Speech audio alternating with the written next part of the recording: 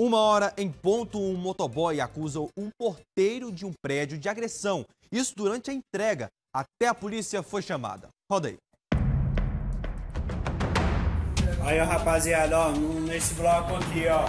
Eu acabei de ser agredido, eu, um amigo meu aqui, ó. Tá a presença da polícia aqui, ó.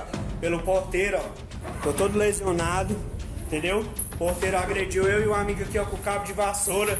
Se não fosse o amigo aqui pra me defender, tinha desmaiado aqui, ó. O cara tinha me matado.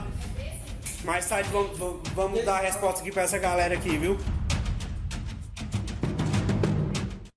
Pois é, segundo a ocorrência da Polícia Civil, a confusão aconteceu porque o motoboy teria estacionado em um lugar proibido para motos e que durante a discussão o entregador teria danificado uma vidraça do condomínio. Todos os envolvidos foram encaminhados para a quinta delegacia de polícia.